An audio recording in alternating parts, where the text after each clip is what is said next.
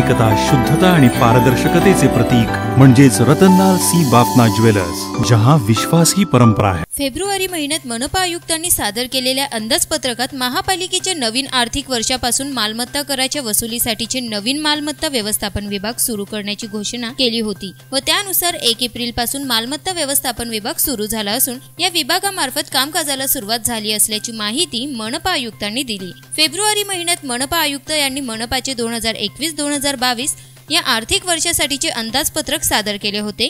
यामध्ये महापालिकेच्या उत्पन्नात वाढीसाठी काही नवीन घोषणा आयुक्तांनी केल्या होत्या. त्यानुसार शहरातील मुदत संपलेल्या मार्केटमधील गाडेधारकांकडील असलेली थकबाकी इतर मार्केटमधील थकबाकी चौकशी करून होणारी वसुली यासाठी मनपा स्वतंत्र विभाग आहे.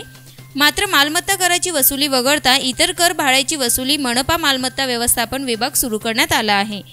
शहरातील खुल्या भूखंडावरील कर वसुलीसाठी स्वतंत्र विभाग आहे. या विभागाकडून खुले भूखंड धारकांना शोध घेऊन त्यांच्याकडून कराची वसुली केली जाते. मात्र गेल्या काही वर्षापासून ही वसुली व्यवस्थित होत नसल्याने आता हा विभाग बंद केला जाणार असून मालमत्ता कर विभागाकडे ही वसुलीची काम देण्यात येणार आहे. जळगावहून गौरीसोबत आनंद शर्मा इंडिया अब तक न्यूज मराठी. आप देख रहे हैं इंडिया आप तक समाचार। सच्चाई से गहराई तक। खबर पहुंचाए आप तक। आजकाल बाहेर गर्दीत जाऊन चिकन खरेदी करणे म्हणजे मोठी रिस्क आहे यार. अरे चिकन खायचं आहे मग टेन्शन कशाला घेतो? बोला चिकन आहे ना.